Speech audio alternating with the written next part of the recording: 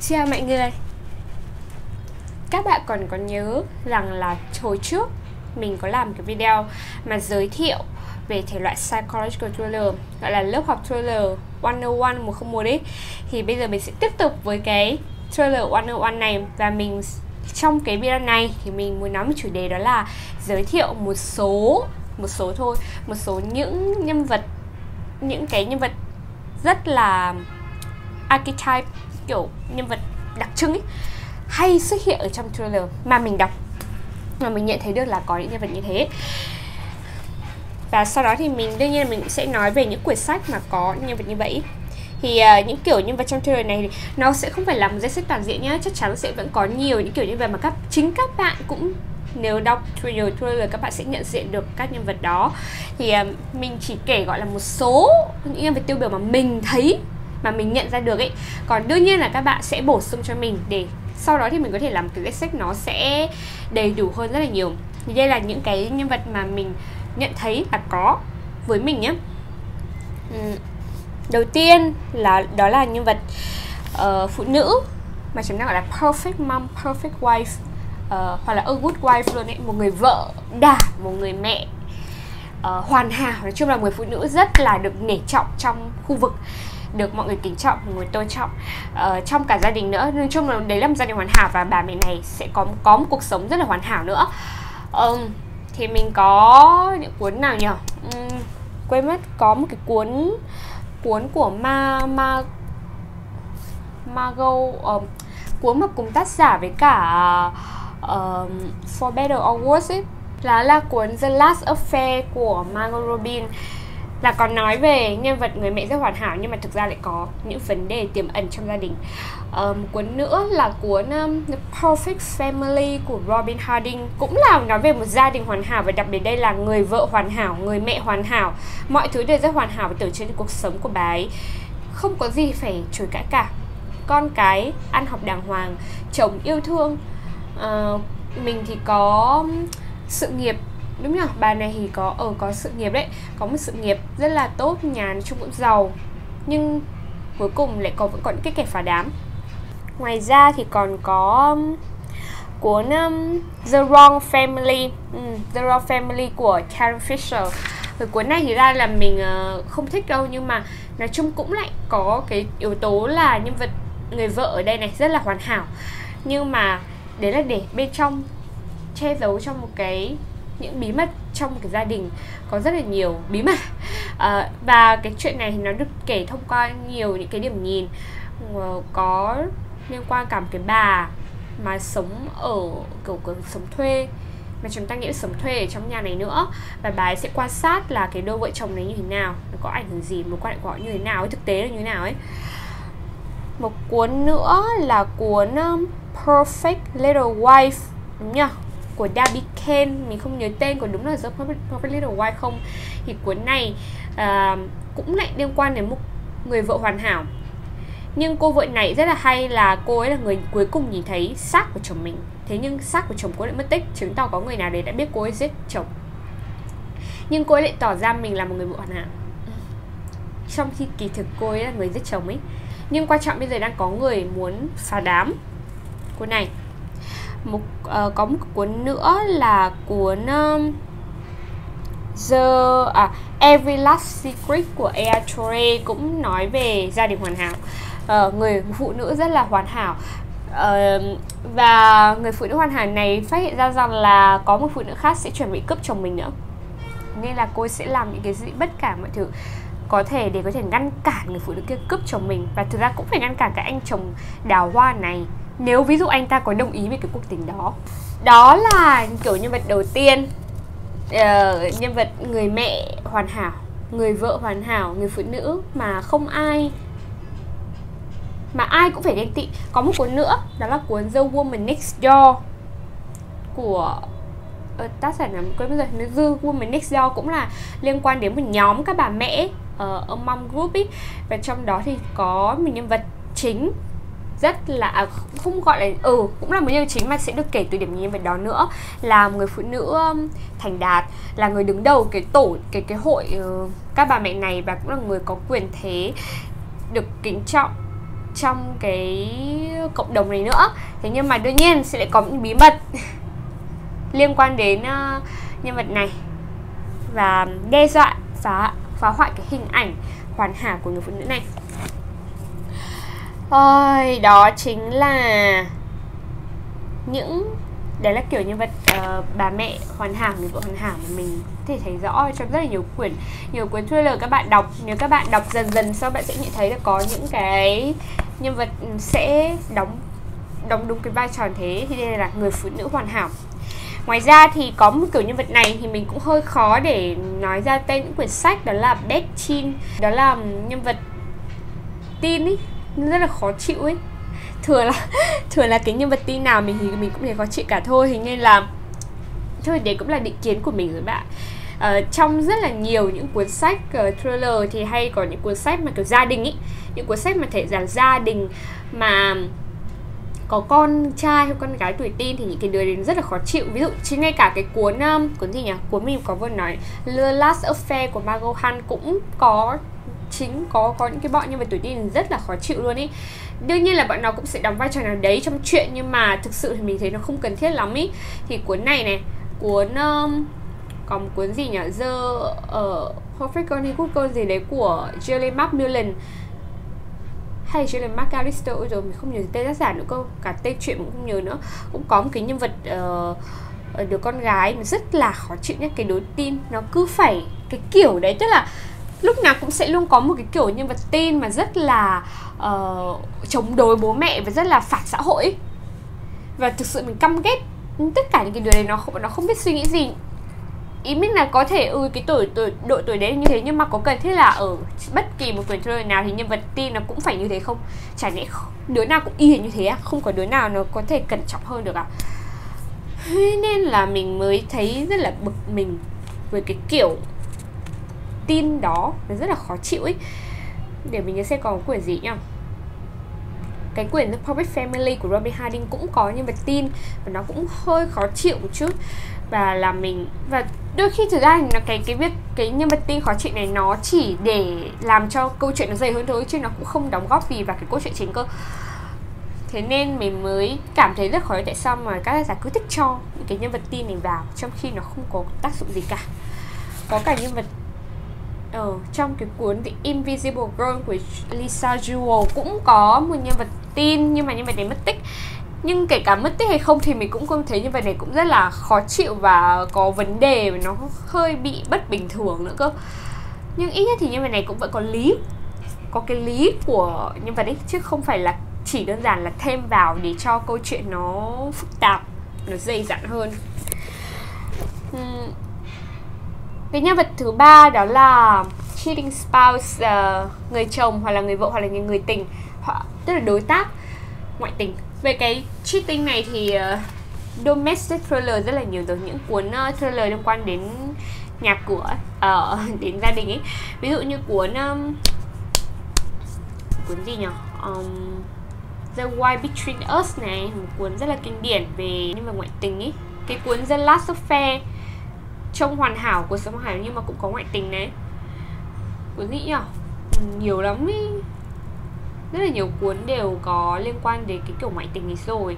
Thậm chí là cuốn The Arrangement của Robin Harding cũng là một cuốn sách có liên quan ngoại tình. Thế là nói về Sugar Daddy và khi đã Sugar Daddy thì người ông đấy cũng coi như ngoại tình đi mà đúng không? Cuốn um, The Wife Stalker của Liv Constantine.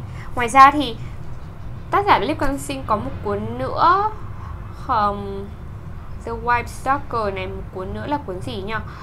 Um, The Last Mrs. Parrish cũng là liên quan tới ngoại tình này. Có một cuốn này thì nó liên quan tới theo kiểu đa thê The Wife của Karen Fisher. Thì cũng là gọi là cheating spouse đi nhưng mà ở đây thì tất cả các người vợ đều biết là chồng mình có mối quan hệ với người vợ còn lại. Thật là kinh tởm ừ, đấy là chi spa thì có lẽ thì cái kiểu nhân vật này thì chắc là cũng không cần phải nói quá nhiều vì ừ, hầu như trong tất cả các chuyện domestic thriller nó đều gần như không phải là một trăm phần trăm nhưng mà thường là cái nhân vật chính một là nhân vật chính ngoại tình hai là nhân vật chính phải ra là người tình người chồng hoặc là người vợ của mình đang ngoại tình.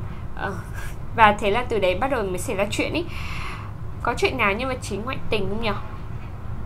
Nên bây giờ mình cũng khó mà có thể nhớ ra được. Mình đọc nhiều quá nên là đôi khi nó cũng bị loạn hết các nhân vật lên đi ngoài ra còn có chuyện uh, Gone Girl này. Gone Girl um, liên quan ngoại tình. Uh, Behind Her Eyes của Sarah Pinborough mm. Ừ. Behind Her thì chắc chắn là có liên có đảm bảo là nó sẽ liên quan ngoại tình rồi. The Stranger in the Lake của Kimberly Bell cũng là một cuốn sách cũng có liên quan tới đối tác ngoại tình. Người chồng hoặc là người vợ mình ngoại tình. Every Last Secret của A.I. Cũng có thể được coi là một cuốn liên quan đến ngoại tình đi. Nhân vật thứ ba đó là người sibling chị gái hoặc em gái đi tìm kiếm công lý. Ở đây cũng có thể là anh trai, em trai nhưng mà hình như mình chưa đọc cuốn nào liên quan đến anh, em trai cả mình mới chỉ đọc là chị em gái thôi và thường chị em gái cứ đi tìm nhau ấy. Có thể là người chị đã từng mất tích từ ngày xưa hay là người em mất tích ngày xưa, bây giờ chuẩn bị hay là ừ, nói chung mất tích từ lâu rồi và bây giờ là người hiện tại sẽ phải đi tìm lại người trong quá khứ đấy. Thì có cuốn ờ, The House at the Neatly Street của Katrina Wood cũng là một cuốn có liên quan tới sibling đi tìm công lý. Ở ờ, đi tìm công lý nhá. Có một cuốn nữa của Wendy Walker, Emily à, Emma. Emma gì? Emma in the night. Cái gì mà nói chung là có chữ Emma ấy, của tác giả Wendy Walker. Cũng là liên quan đến một cô cô chị đã mất tích ấy. Và bây giờ cô em trở về. Nó sẽ là thường câu chuyện đây sẽ là đi về hướng là có một nhân vật chị hoặc em sẽ còn sót lại trong cặp đội bộ đôi chị em này. Và người đó sẽ phải lý giải tìm hiểu lại về cái quá khứ về cái vụ mất tích ngày xưa đó. Tại sao lại có vụ mất tích đó xảy ra? Thậm chí cuốn local woman missing cũng có cái yếu tố này cũng có cái yếu tố nhân vật này. Tuy nhiên là yếu tố nhân vật này nó không rõ ràng và khá là thừa thãi nữa. Uhm, để mình nhớ nè còn cuốn gì mà cũng là chị em nhưng mà một trong hai người đã mất tích. Thì um,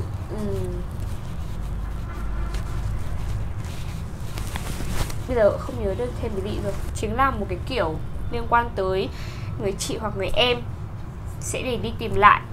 Người chị hoặc em người em đã mất tích của mình. Tiếp theo là nhà báo tò mò hoặc là một người um, podcast muốn đi tìm hiểu sự việc ấy, thì mình có cuốn The Hollows của Mark Edward thì cuốn này cũng là một cái ông nhà báo, ông ấy đi đến cái khu nghỉ dưỡng này và ông mới phát hiện ra là hóa ra có quỹ sư người đấy. Ông mới tự dưng rất là tò mò và ông muốn tìm hiểu vụ đấy để cứu vãn sự nghiệp đang sắp tan tành thành mây khói của ông ấy. Đấy là cuốn The Hollow này. Cùng một cuốn nữa là The Night Swim thì có liên quan đến một người làm podcast và đi tường thuật lại uh, một vụ án. Tường thuật ở đây là một phiên tòa một phiên xử tòa án về cưỡng hiếp và đồng thời là cô ấy cũng sẽ có điều tra về một vụ án giết phụ nữ ngày xưa đã từng xảy ra ở đây. Ừ, cuốn The Night Swim này nó cũng có thể phù hợp với cái cái kiểu có cái nhân vật là người chị em đi tìm lại công lý nữa. Thì cuốn The Night Swim cũng là cuốn như vậy nhá. Ừ. Ngoài ra thì có cuốn uh, The Broken Girls của Simon St. James nữa thì cũng là một nhà báo đi tìm hiểu mọi chuyện. Ờ, đúng rồi, chúng ta còn có một cuốn nữa về cái nhà báo mà sẽ rất là tò mò và đi tìm mọi chuyện. Thì thường là các nhà báo là sẽ làm công việc đấy mà. Đó chính là Gia đình lầu trên của Lisa Jewell Family Upstairs. Nó sẽ là, cũng sẽ có chứa cái nhân vật nhà báo mà đi điều tra vụ việc. Ờ, nhân vật thứ ba à nhân vật tiếp theo mà mình thấy là cũng hay xuất hiện đó là nhân vật chính có vấn đề về tâm lý hiện này thì ý ở đây, vấn đề tâm lý ở đây là không phải bị bệnh tâm lý mà ở đây là nhân vật chính này thường hay có những cái chấn thương ấy, đã từng phải đối mặt với những trải qua những cái đau khổ của mình rồi và vì vậy mà có thể tất cả những cái tình thế bây giờ sẽ ảnh hưởng rất nhiều tới cái suy nghĩ của cô ấy. Và đây thường là nhân vật nữ và có lẽ không ai khác nổi tiếng nhất với cái kiểu kiểu nhân vật nữ này đó là tác giả Riley Sager ví dụ cuốn Final Girls là một cuốn như vậy nhá uh, cũng là một nhân vật đã từng uh, thoát khỏi những vụ một vụ tàn sát một cái giết người hàng loạt. Cô ấy là người cuối cùng sống sót ấy. Rồi uh, cuốn Survive the Night của Riley Sager cũng là một cuốn như vậy.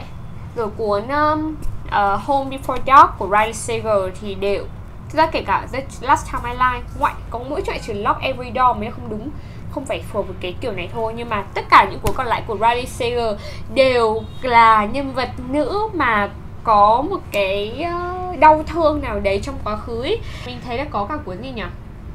Ừ. The Sanatorium của Sarah Pierce. Cũng là một cô nhân vật cảnh sát. Cô cảnh sát này cô ấy đến cái dự cái lễ đính hôn của em trai mình ở một cái khu, một cái khu nghỉ dưỡng rất là biệt lập ấy nhưng cô ấy cũng đang trải qua một cái việc thời gian là xin nghỉ làm bởi vì cô ấy đã có một cái chấn thương liên quan đến nghề nghiệp cô ấy nữa. Và nó ảnh hưởng rất là nhiều đến và cuộc điều tra của bây giờ. Một cuốn nữa là cuốn Good Girl Life của J.T. Allison. Thì cuốn Good Girl Life này là nói về chú, chú là nhân vật tin.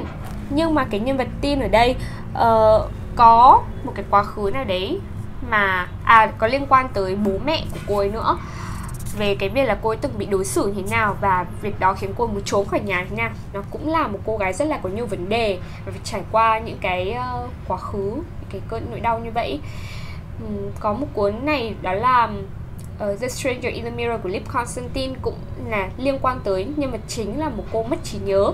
Và cô ấy chính vì việc cô ấy mất trí nhớ nên cô ấy đón cái sự chấn động lớn là cô ấy rất là chấn động vì cô ấy không biết mình là ai và tại sao tự dưng gọi xứng đáng về việc cưới người đàn ông này ấy. Ừ. đấy là cái câu chuyện nó như vậy. Mình có một nhân vật này cũng rất được hay sử dụng trong chuyện điều tra phá án chính, đó là nhân vật thám tử nghiện rượu. Hoặc là niệm cái gì đấy, nói chung là sẽ gây ảnh hưởng rất nhiều đến cuộc sống của vị thám tử này, trông rất là bê tha nhếch nhác lôi thôi thì có thể điểm danh được hai hai anh này này. Đó là Harry Hole ở trong cái series uh, điều tra Harry Hole của tác giả Jonas Boy ừ, với cả anh um, Cormoran Strike trong chuyện của Robert Gilbert con chim khát cổ ấy. Chim chị ở ờ, đây đấy chuyện đấy. Uh, thì đấy thì thế là hai cái nhân vật mà cũng rất là hay sử dụng. Ngoài ra thì còn có Bill Hodge trong cái series truyện um, ờ, Tessania Mercedes của Stephen King. Đấy cũng là một uh, nhân vật thanh tra điều tra mà theo kiểu nghiện rượu và chán đời và, và các bạn bây giờ đây ý là mình cũng gọi là đọc nhiều cái kiểu điều đấy rồi nhưng bây giờ nó cũng không còn cái gì là mới mẻ. Nhưng mà với các bạn mà kiểu chưa giờ đọc ấy thì các bạn có thể nhận thấy được là dần dần bạn đọc nhiều sẽ thấy có rất nhiều chuyện mà có liên quan đến thanh tra mà cứ cái kiểu nghiện rượu và Ừ, chán đời. Nhưng mà thực ra họ lại rất là giỏi. Thì quan trọng họ lại rất là giỏi nhưng họ lại đi lãng phí cái sự tài giỏi của đấy vào việc uống rượu và sự bê tha sống bê tha. Tiếp theo là một kiểu nhân vật cũng hay xuất hiện ở trong những cái chuyện mà nó có liên quan tới uh, ở neighborhood ấy, ừ, nhiều community tức là một cái khu uh, dân cư ấy. Thì đó là nosy woman người phụ nữ tò mò tập mạch. Cái yếu tố người phụ nữ tò mò này nó rất là xảy ra ở nhiều chuyện rồi. Ví dụ cái chuyện um, chuyện điển hình điển hình là chuyện của tác giả à, uh, Paula Hawking. Và trong dòng nước nhá rồi uh, và trong dòng nước có rất nhiều điểm nhìn nhá. Trong đó có có cái điểm nhìn của người phụ nữ mà khá là tọc mạch ấy. Và cuốn mới nhất của Paula Hawking là A Slow Fire Burning cũng có nói về một nhân vật mà rất là tò mò tọc mạch và rất là khó chịu. Mình rất là ghét cái kiểu nhân vật như thế. Còn ai nhỉ? Uhm, người đàn bà sau cửa sổ này với cả người đàn bà sau cửa sổ của ờ, uh, AJ Finn um, thì um, ý mình ở đây là cái nhân vật chính cũng không phải là theo kiểu tòng mạch theo dạng cách khó chịu như vậy nhưng mà có cái sự tòng mạch yếu tố tòng mạch đấy chính. Nhân vật chính ở đây lại là người phụ nữ tòng mạch. Người đi theo dõi mọi người khác qua cửa sổ ấy. Rồi um, một cuốn nữa là Good Night Beautiful của Amy Molloy thì cũng là một cuốn sách có yếu tố về uh, sự tò mò tọc mạch ở đây. Và nó hơi lên một một cấp độ cao hơn đó là sự ám ảnh. Cái việc tò mò tò mạch đôi khi nó cũng thành cái sự ám ảnh.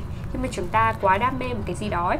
mặc dù là cảm giác cái nhân vật nhiều chuyện này không có gì mới và thậm chí là đôi khi rất phiền nhiễu, nhưng mà có lúc đấy cũng thành cả một câu chuyện đấy, như là cuốn Good Night Beautiful. Mà nhân vật của, mẫu nhân vật cuối cùng mà mình muốn nhắc đến trong cái video này đó là hình tượng người phụ nữ bí ẩn. Thì cái người phụ nữ bí ẩn này là các bạn cũng biết là mình rất thích cái kiểu hình tượng này rồi ví dụ như cuốn gì nhỉ? Người đàn bà trong đêm của uh, cái chuyện trên đám cổ điển ý. Trên thám đen ấy của ông gì nhá tự dưng quên mất tên rồi. Đấy cuốn ờ, người đàn bà à, người đàn bà trong đêm này nhá. Rồi cuốn triệu Rachel này của Rebecca à, triệu Rachel Daphne du Maurier. Cũng là một cuốn sách nói về người phụ nữ bí ẩn nói chung là mình rất là thích một cái yếu tố phụ nữ bí ẩn này. Nó có cái gì đó rất là kỳ lạ. Cái nhân vật người phụ nữ bí ẩn này nó sẽ thường là nhân vật rất là thoảng qua thôi, nhưng chính, nhưng mà lại đóng một vai trò vô cùng lớn trong trong cái chuyện đấy. Cảm giác như không thực sự quá quan trọng ấy, nhưng hóa ra lại là quan trọng nhất. Thì cho nên mới gọi là cái yếu tố bí ẩn nó tăng lên phần nào mà chúng ta phải tìm hiểu lý do tại sao mà phụ nó lại trở nên quan trọng như vậy với nhân vật chính ấy hmm. thực ra thì bây giờ mình nhớ ra là mình còn có một kiểu nhân vật nữa.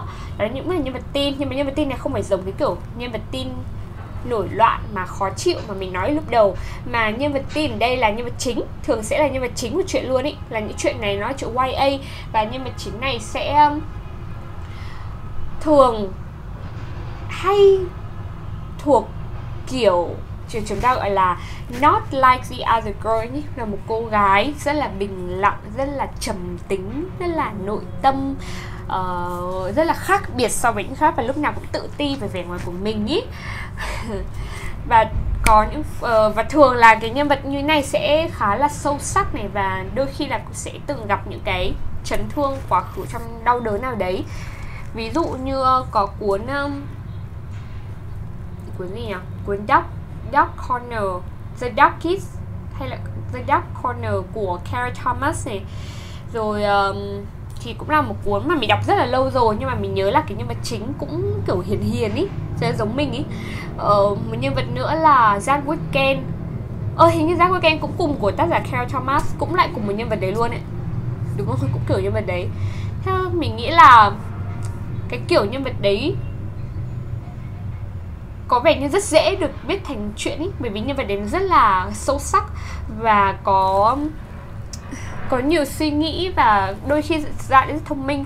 Và chính cái cái việc cái sự hiền từ của nhân vật đấy lại thu hút trong anh chàng đẹp trai nào đấy. Ờ, còn một ờ, chuyện nữa cũng có sự kiểu nhân vật này đó là The Window của Amelia Brunskin và cuốn The Winner này hình cũng có thể là phù hợp với cái kiểu hình tượng nhân vật là chị em đi tìm công lý. Bởi vì trong chuyện này cũng nên mà chính là một cô chị hay là cô em ý là đang điều tra lại về cái chết của người chị sinh đôi của mình hoặc là cô em sinh đôi của mình.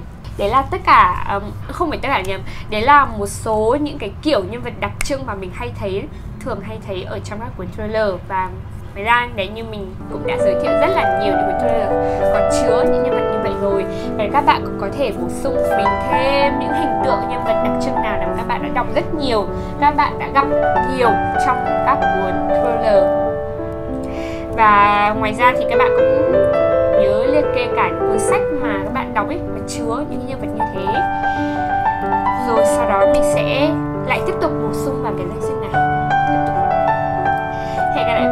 hẹn gặp lại bạn trong các video sau bye